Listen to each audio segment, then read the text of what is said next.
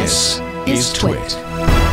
All right, Rob, you're gonna make my wife ticked, and uh, you're gonna try to talk me into buying something again. I, I just, I just know. Yes. Yes. I'm gonna hear about uh, this, man. It is time for Jonathan to get out his wallet as the new furry phone, or maybe it's the fur iPhone. I don't know. the furry phone. Neither of them sound great. furry phone, F U R I, furry phone, FLX1, is here and available for 499 US dollars. From their buy it now page, first it says fast, performant, and cheap. You wanted all three? Now you got it. The FLX1 from Furi Labs runs a fully optimized system called FuriOS packing a lightning fast user interface, tons of storage, and a privacy centric approach like no other. FuriOS is an operating system based on Debian, designed and oriented for mobile use uh, without any artificial limitations. The phone looks like an actual premium phone. For those watching, you can kind of get a little uh, view of this uh, beautiful looking thing. So it looks like an actual uh, premium phone and it supports 4G and 5G and is even able to run Android apps through the use of Waydroid integrated into the OS. The uh, hardware of the phone itself comes with six gigabytes of memory, 120, 128 gigabytes of universal flash storage 2.1.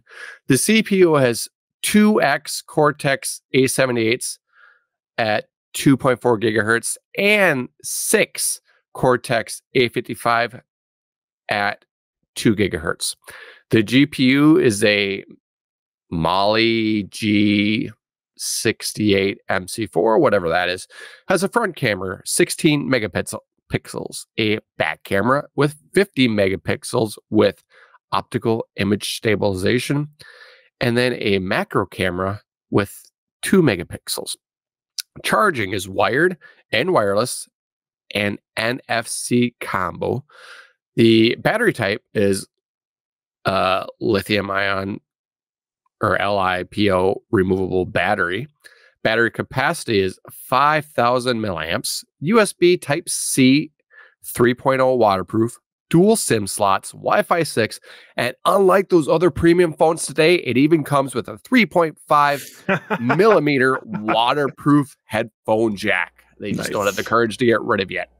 Sweet. So the talk on Reddit makes it sound like it's probably one of the best Linux phones yet.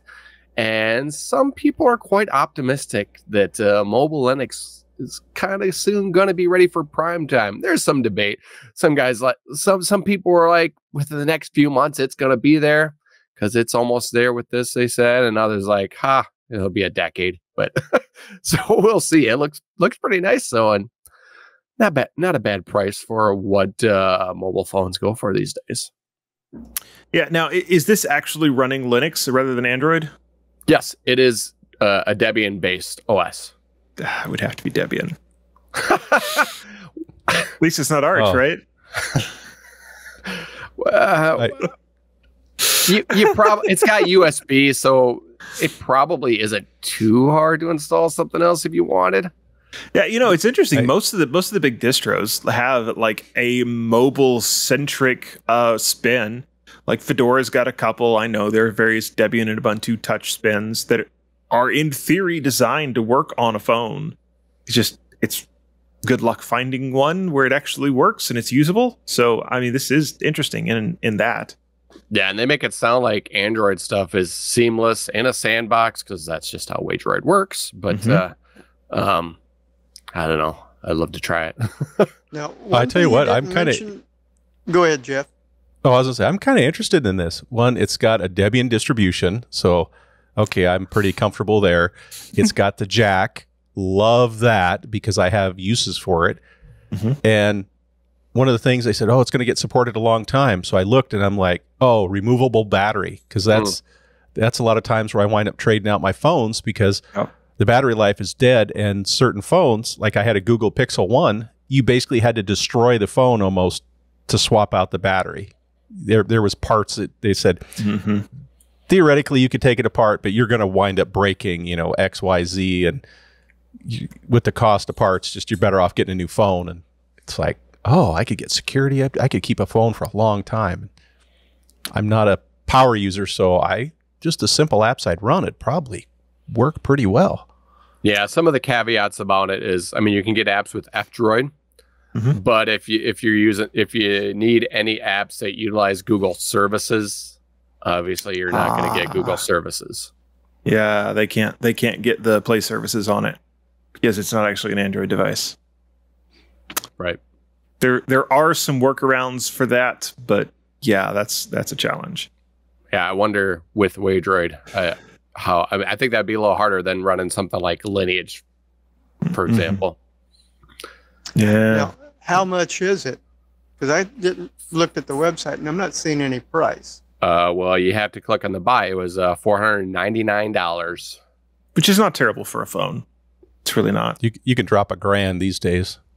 Mm-hmm. And and still not quite be there if you want really one of the really expensive ones. It has 550 crossed out, so I don't know if that price is ever going to go up or if that's just the always on sale kind of marketing gimmick that places do. Ah, yes, uh, unfortunately popular these days.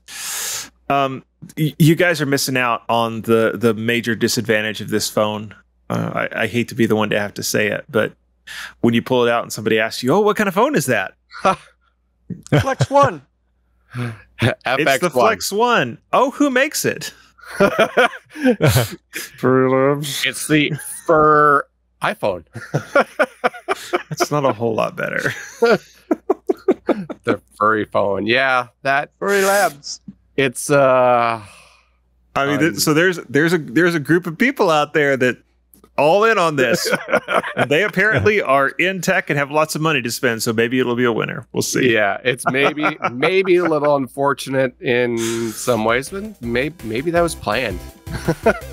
Playing the long game.